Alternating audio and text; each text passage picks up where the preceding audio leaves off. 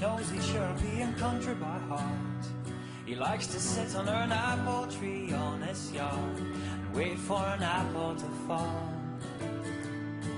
When Peter is nine, his teacher tells him that this planet is dying, that someone needs to put an end to it all. And so when Peter comes home, he tells his mom, I'm going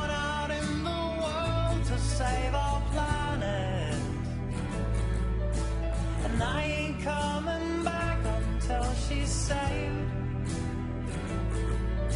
I'll walk my way to see the king parliament.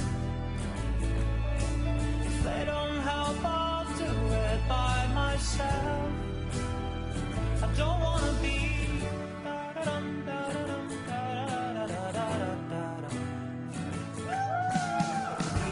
Young. He tries to talk, but no one listens to him. Everybody's busy living and dying, not thinking about what they're doing.